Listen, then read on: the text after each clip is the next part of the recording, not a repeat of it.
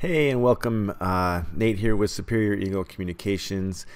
And I get a lot of questions asking how do you set up uh, office hours for the 3CX. Um, if you're familiar with version 14, and obviously if you're looking at this, the this is version 15, and it does have a different uh, graphical interface, which I actually like it a lot better. There's a lot more information that kind of on the dashboard that you see right away.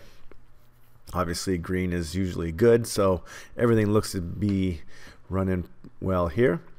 Um, but again, this is regarding setting up office hours. So there's a couple places to do it. One of which is you can set global office hours by coming here to settings and time zone.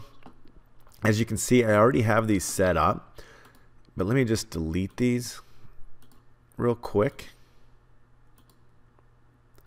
I'm not going to do them all for the purpose of this video, um, but if you were just to log in for the first time or you've never set this up, this is what it would look like. Okay, so if you click here, click configure, and now you can come in and select your date and time. Maybe it's 7 and you're off at, uh, actually it's in the 24 hour clock military time.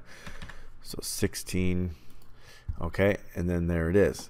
Um, if you already have some set up, you can come in here. You have to delete it in order for it, in order for you to be able to edit it or change it. Why? I don't know. That's just the way it is. And then again here with new with version 15, you can set up break times on the global office hours. And then when you're done here setting your times, again, make sure that you click OK so it does actually save. All right. The other place that you can set, nope, it's not there. You can set date uh, date. You can set the uh, office hours is by inbound rules and selecting the actual DID. And then again, I've already had this set up. So if I wanted to uh, edit, I have to go in there and delete it.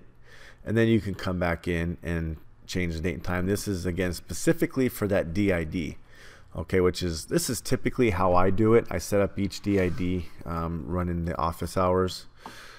So um, and just to kind of expand on that, uh, this is where it's going to get directed to the inbound.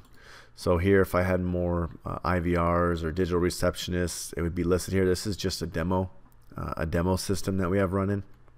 Um, if there was ring groups, they would be in here.